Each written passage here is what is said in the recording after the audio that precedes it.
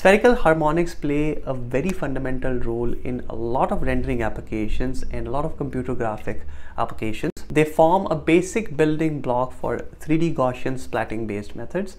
And in this video, I wanted to delve deep and analyze how different orders of spherical harmonics impact the final rendering. Welcome back to the channel guys. My name is Dhruv. I am an engineer at Convolve and at Convolve, we assist small, medium, large enterprises with their computer vision and AI related needs. If you want to get in touch with us, here is our contact information. Feel free to email us, feel free to contact us, and we would be happy to assist you. We would be happy to discuss your specific challenges that you're facing and provide our insights and solutions. All right, guys, so let's take a look at um, the effect of spherical harmonics on 3D Gaussian splatting. Um, so essentially in this video, I'm trying to give you an idea of how different orders of spherical harmonics impact the final rendering and uh, it was uh, given my prior videos on 3D Gaussian splatting. Um, it was a certain extension, uh, an obvious extension for me to use those examples itself to showcase how different orders of spherical harmonics play a role in the final rendering. Uh, so uh, if uh, you guys don't remember, you can take a look at in one of our previous videos as well. Uh, however, uh, essentially this is how the spherical harmonics are organized.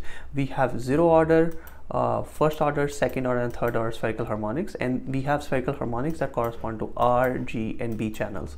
So for each of the different channels in the image there uh, is zero order first order second order and third order spherical harmonic coefficients that are in combination used to perform the final rendering now uh, in order to determine what role these different spherical harmonic coefficients play uh, i did some experiments.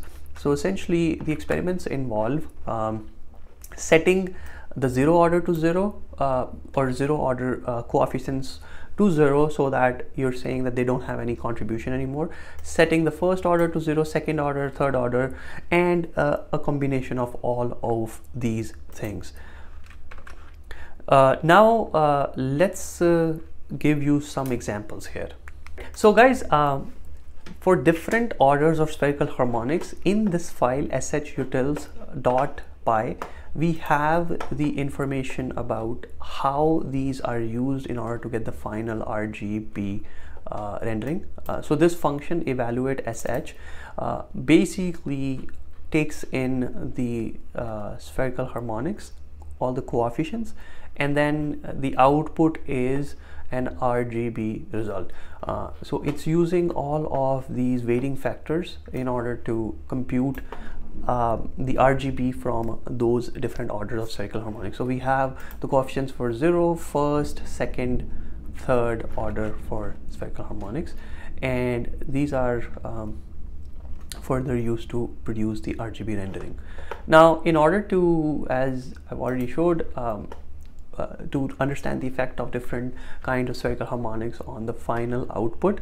Um, I did some experiments when rendering. So here is the function is a uh, command to render uh, the output from the Gaussian model. Um, in the rendering code, I modified and I said that you know take the spherical harmonics and set uh, different kinds of uh, uh, spherical harmonic coefficients to zero and let's go over and see what the results look like so here, um, essentially, this image uh, is the spherical is with the, the entire coefficients from the trained model. So nothing has been modified. This is the original trained model. In this one, the zero order spherical harmonics are um, set as it is and everything else the higher order the first second and third order spherical harmonics are all set to zero. So this is the rendering. So you can see that even though the first second and third order spherical harmonics are all set to zero we still see that uh, uh, you know there is uh, quite substantial rendering done. So most of the information about the RGB values in the scene is encoded in 0, 1 and 2 sorry in the zeroth order spherical harmonics for the R, G and B channel.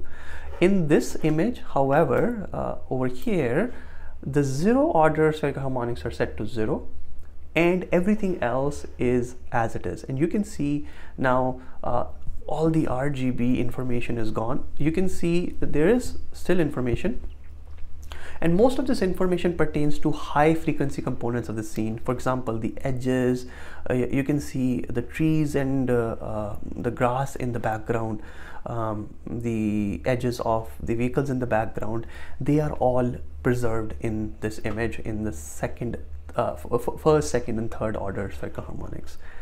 Um, if we move further, you can see that here in this image, um, this uh, area over here, this bush, uh, is different uh, from this rendering. Here you can see it's much blur.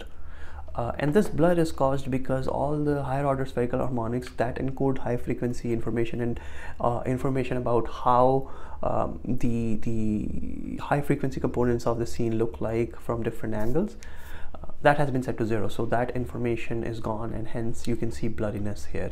Even in the sky you can see the difference. Uh, for example uh, if you look at um, this part over here the sky over here is a little different. You can see there are certain artifacts here. When you set the zeroth order to uh, when you set the zeroth order as is and all the other orders to zero.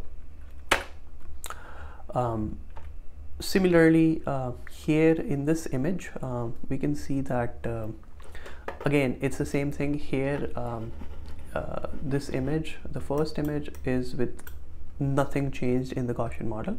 The second image uh, has uh, the zeroth order spherical harmonics unchanged but the higher orders are set to zero.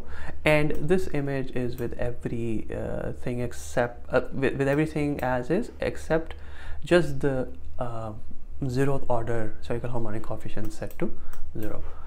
Um, and you can see that here, if you look at in the circle, um, when uh, nothing has been altered in the Gaussian model, the uh, this grill over here is very clear but when we set the higher order to zero you can see that this grill does not become uh, very distinctive and that can be seen over here as well where you can see that uh, when the zeroth order is set to zero, the higher order spherical harmonics contain the information about this grill, the high frequency components in the grill. Um, and this way, uh, this is an illustration as to how these different orders have an impact on the final rendering. So in summary guys, in this video we have talked about how different orders of spherical harmonic coefficients affect the final image and I've given you example from renderings from Gaussian splatting model itself. Uh, we've compared how zero order uh, affects the final rendering and how the higher orders. And I hope you got some sense of how these different orders of coefficients impact the rendering for the final uh, image. Thanks a lot for watching guys. If you like this video, please hit the like button, subscribe to the channel and hit the bell icon so you are notified about any new video that we upload. Thanks again for tuning in and I'll see you in the next video.